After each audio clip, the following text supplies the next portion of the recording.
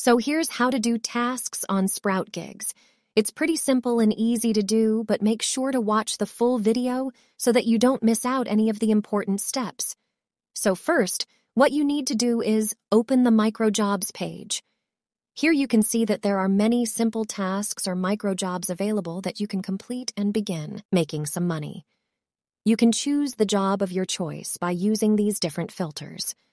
But let us click on this one which says World Remit Sign Up in order to understand the completion of tasks on Sprout Gigs. So if it's your first task, they'll demand some info regarding you. You have to fill out all this and then click on Save. Now, here you can see that we've landed on this page.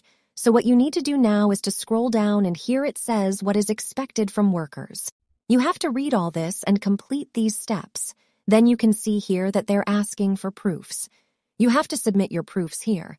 For screenshots, you can use Lightshot or ScreenRec. Both of these can be easily downloaded from Google.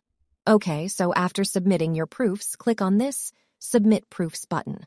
So in this way, you can complete any task on Sprout Gigs using the same main procedure for any task that you want to complete. Now, you'll have to just wait for it to get approved. Once it's approved, you'll earn this amount of money and it will be showcased here into the Earned section.